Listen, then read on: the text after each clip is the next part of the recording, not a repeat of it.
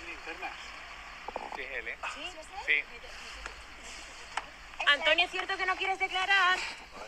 Antonio, ¿tienes algo que ver con el caso de tu tía? ¿Es cierto que perteneces a una organización? ¿Tú crees que es él? Antonio, ¿es cierto que te has negado a declarar? Tu tía María sigue defendiendo la presunción de inocencia. Antonio, ¿tuviste algo que ver en el robo de la casa de tu tía de Sergio Ramos? Cuidado, por favor, por favor, por favor, cuidado. Por favor, cuidado, yo sé que atropelle. Por favor, cuidado. Vale.